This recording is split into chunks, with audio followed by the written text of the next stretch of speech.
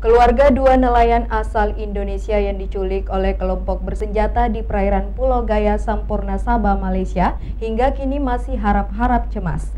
Mereka berharap pemerintah Indonesia dapat membantu pembebasan kedua korban agar mereka bisa kembali ke tanah air dengan selamat.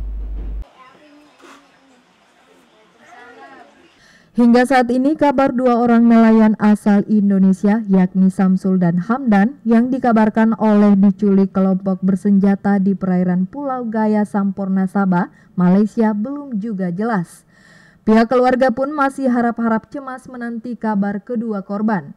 Seperti yang dirasakan istri Syamsul misalnya, ibu satu anak ini tak henti-hentinya menangis karena belum mengetahui kondisi suaminya dengan jelas.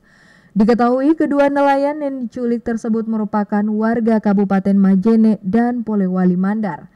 Keduanya diculik pada Selasa dini hari saat sedang menangkap ikan menggunakan kapal Dwi Jaya Sakti milik salah satu perusahaan bendera Malaysia.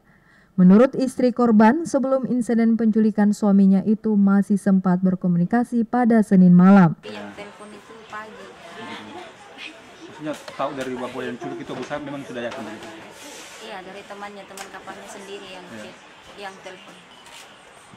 Memang di posisinya pada saat itu di mana? Ya, Posisinya di mana waktu itu? Di atas, Siap. di atas lagi melaut lah. atau iya lagi melaut lah yang masa di Sandra itu ya Iya. lagi siap-siap mau kerja lagi di laut.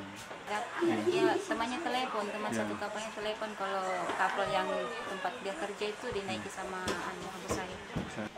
Selain menunggu kabar dari pihak perusahaan tempat korban bekerja, keluarga korban juga terus memantau informasi melalui siaran televisi, khususnya iNews TV, demi mendapat informasi jelas mengenai keberadaan korban.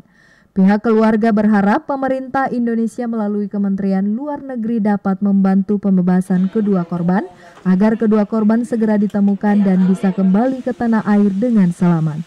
Dari Polewali Mandar, Huzar Zainal, iNews melaporkan.